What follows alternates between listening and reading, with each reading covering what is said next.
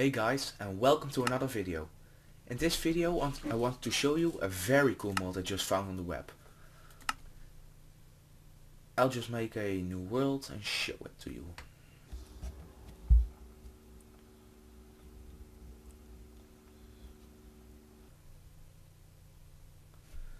Okay, it's fully loaded.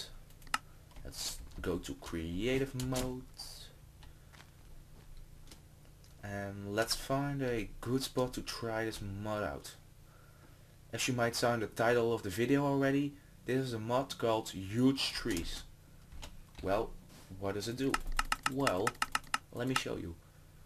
Um, you can choose any material in the regular vanilla Minecraft. So let's just use a regular piece of wood, some leaves, obsidian and some bone meal. Okay, the first block you place down is the trunk of the tree. In this case I will use wood. The second is like the regular leaves. Then the block of obsidian. So the mod knows it's part of the mod. And a, oh, I forgot something, of course, a sapling. Okay. This might cause some lag, but and it takes a lot of time to render. Yep, here you. Huge trees. Told ya. Too bad I didn't install the timber mod, because that was just awesome. But you can also use other blocks than wood. So, let's see. Um, cool item in not enough items mod. Um, block of diamond and a block of gold. Yeah. I wouldn't suggest this mod in a no hack world because this is really like hacking.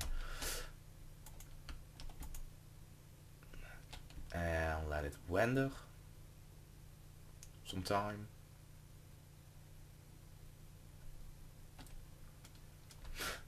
Here you go. A giant tree made out of diamond blocks and gold. Yeah. And now let's make one for the internet fans. Um, a cake. Yeah. And maybe some lapis. Oh, that's my bone meal. Here it is. Catch it, catch it.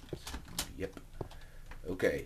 Here's some lapis some.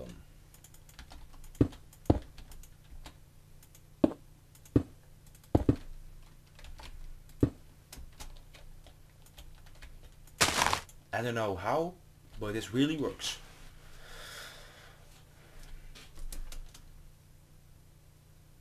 Lag. A lot of lag. Too much lag.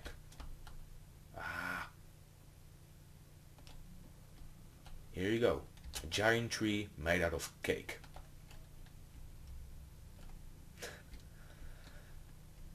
okay, I think this is the end of this video, so I hope you enjoyed it. Please leave a rating in, a, in the comments, and I'll see you guys next time.